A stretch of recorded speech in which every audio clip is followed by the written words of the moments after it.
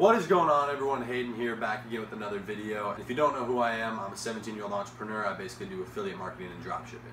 Now, I want to jump straight in today and get into this topic because I think it's very, very important. And A lot of people have been hitting me up, asking me questions, you know, showing me what they're struggling with. And I want to just kind of put it all in one place so that I don't have to keep answering that every single time. Uh, so people can just refer back to this video. And that is how to build a profitable Facebook campaign for your dropshipping site. A lot of people have been asking me, you know, how I drive my traffic, and that's what I'm gonna assume is the most frequently asked questions of people who are starting to do well, or at least, you know, making a lot of money with Shopify and dropshipping. So I wanna answer that. I'm sure influencer ads are very good. I haven't really personally tested them too much.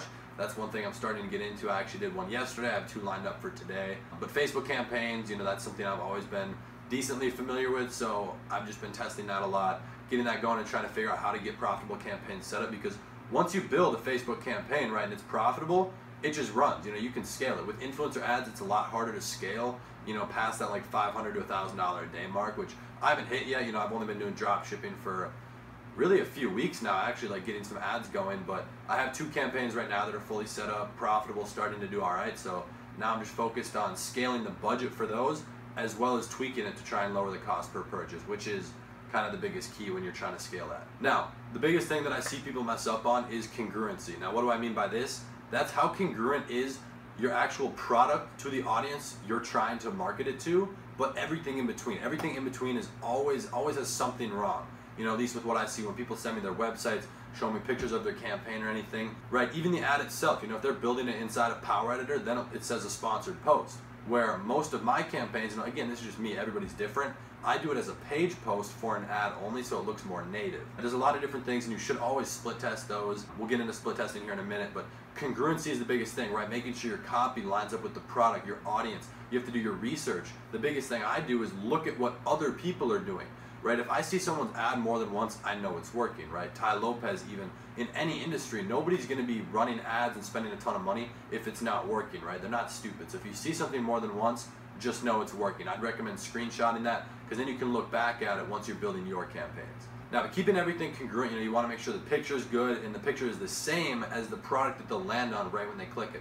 I see a lot of people do this small mistake all the time. They'll have a picture of, let's say, like a, a black belt, and when they go to the website, it's a brown belt. Now, that slight difference, it really messes with people's trust. You know, just in their mind, all the psychology factors that go into that, you want to make sure everything's congruent. If they click on that black belt, that's because they want the black belt or they're interested to see it. They don't want to go see a brown one, right? You know, you want to offer that brown one as another, you know, color option. You'll have a ton of different colors lined up at the bottom, but you want them to be able to select that, not you changing that without their approval, if you will. Right, so just make sure everything's super congruent. I love to use emojis. You know, I don't overdo it or whatever. Usually one emoji at the top and then an arrow at the bottom pointing down. Um, I'm not going to give away too much of what I do for my ads, but the bottom line, what I always use is, you know, share with friends and family. Sometimes I'll do, you know, share with friends and family and drop a comment for an exclusive discount code. Something like that, whatever you can do to push more organic interactions is always going to benefit you because if you get one out of 10 people sharing that with someone else, and you're reaching thousands of people and some of those people will share it's just the biggest tree branch that just goes out and you'll reach a lot more people than just the campaign's ad spend is you know directly targeting now product description this is something i didn't think was very important until i actually started running traffic and talking to people who knew what they were doing so product description, super, super important. One thing I do want to mention first is you're really only going to have two or three products on your site that you're running traffic to, especially in the beginning. So I make sure those two or three core product descriptions are just knocked out of the park. The other ones um, usually just have a secure checkout thing, which again is something I want to talk about. Always have a secure checkout badge, like an icon, inside of the product description because that's just going to really, really play into their thought process. Like as they're thinking about ordering what they want to do, it's just reinforcement, reinforcement. Also use color, right? In the product description, most people just have it very boring. You know, do some research on what colors are good. Always stay away from orange. You know, women aren't very attracted to yellow. Blue means a lot of trust. Pink and purple work good for women, you know, just things like that. Go do a little bit of research. You know, a quick Google search is gonna show you what exact colors people like, don't like, what the buying habits are based behind those colors because there's a lot of research that's been done on that because it is important. Now, but as for overall keeping everything congruent, just make sure they flow through every step of the process from first seeing the ad itself to clicking on it, going through your website, all the way through your checkout process. And even you know after that with the email follow-up, which is where most of your money is going to be made on the back end. And you really just want to make sure it's a very pleasurable experience for them because then they'll come back and buy again and again. You know, because a customer that's already bought once is very, very likely to buy again, especially if you set them through the entire process the right way the first time. If they had a great experience, then they're going to really want to do that again, especially if you're offering, you know, discounts, sales, whatever it is, and perceiving that as like them getting another good deal. You know, that's what's going to bring more customers back, especially on the back end through email retargeting. Now, one thing I do want to point out real quick about the actual ad itself and what offer you're pushing.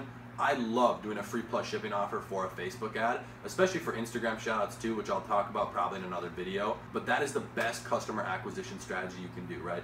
If you can get people in with free plus shipping and at least break even, ideally aim to make a couple dollars, then on the back end with that email list, you can make a lot more money. You know, if you're targeting the right people, your ad and everything is congruent, it's really not gonna be that difficult to get to the point where your campaigns are at least break even with a free plus shipping offer.